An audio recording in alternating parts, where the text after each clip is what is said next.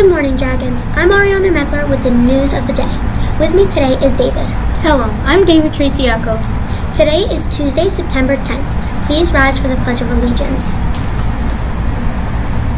I pledge allegiance to the flag of the United States of America, to the republic for which it stands, one nation, under God, indivisible, with liberty and justice for all.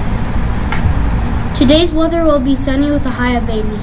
Here are the birthdays for today and some for August. Here are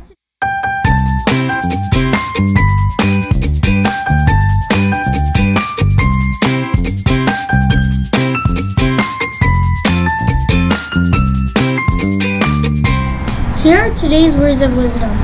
How many of you have seen the movie Babe?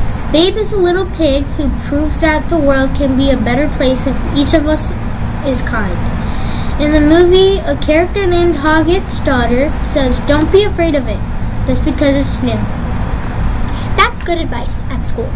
We are always trying new things. That's what learning is all about, isn't it? We learn new things every day.